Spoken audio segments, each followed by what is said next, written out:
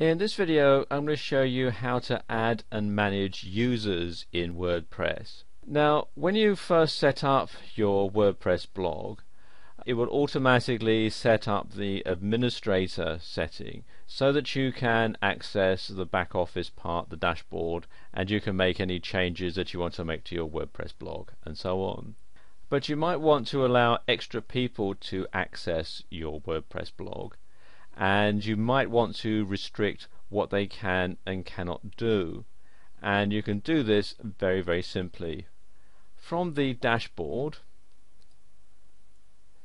come down here to users and click.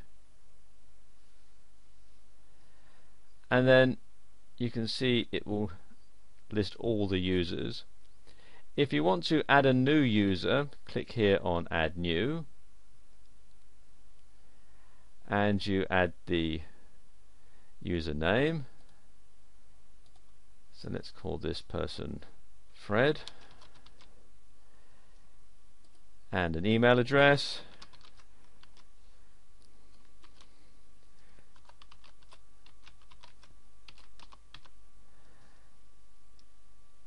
And we can add their first name. Let's call them Fred as well. And their last name is Smith they don't have a website so we'll leave that one blank. Put in the password.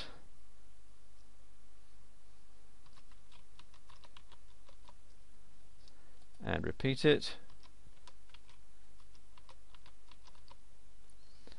And there we go. And you can decide whether you want to send the user their password by email seeing as this is a fake name I'm not going to check that. And then you want to select the role that this new person is going to have. And you select that from the drop down menu here. And this is actually very important because there are different roles allow people to have access to different parts of the site. For example an administrator is someone who has access to all of the features on the site. If someone is an editor that means that they can publish and manage posts and pages as well as manage other users' posts and so on. An author is someone who can publish and manage their own posts but can't do anything else. And a contributor is someone who can write and manage their own posts but they can't publish them. And a subscriber is someone who can only manage their own profile. They can't do anything else. They can read your blog, but nothing else. Okay, I'm going to assign this person the role of author. So we can click there and then click on add a new user. And there we go. You can see there's the admin and there's Fred, our new user. Okay, if I just log out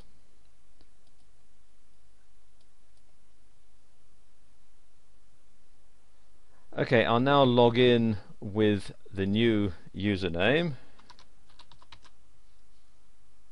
and password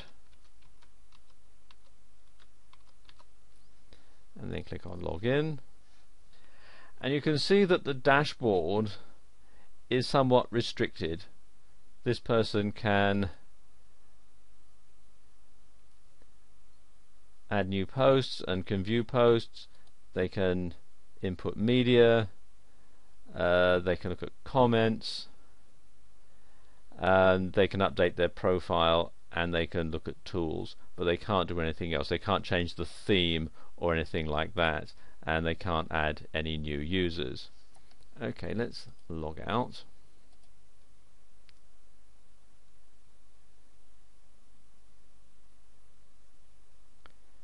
and I'll now log back in as the administrator.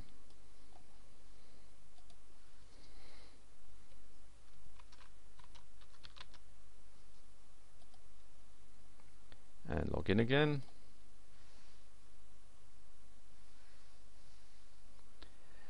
And let's add another user. Just scroll down a bit here. Users and let's add another new user. And let's call this new user Jane. And her email.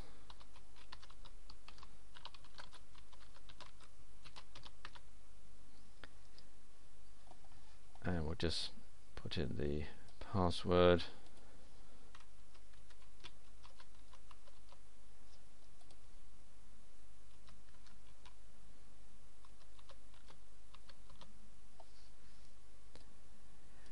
and let's give this person just the role of subscriber. So click there add new user.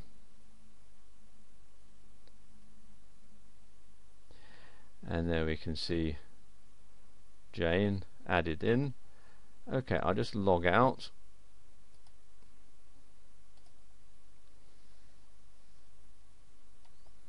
And there we are. And I can log in again. There's Jane.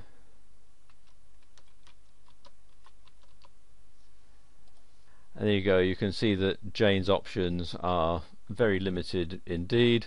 All she can do is update her profile and her contact information. Okay if I just log out again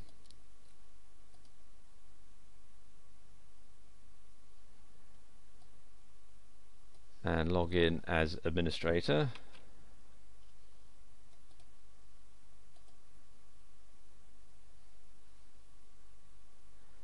One other thing that I'll show you is if you want to delete a user come over here to users. It lists all of them here. And if you want to delete them just simply click on the delete link and then it gives you some options. You can delete all posts and links or you can change the attribution of the posts and links and you can choose it from the drop down menu there. I'm going to delete all posts and links so confirm deletion. And there you are. Fred has been removed from the list. So there you go. This is how you can add and manage users in WordPress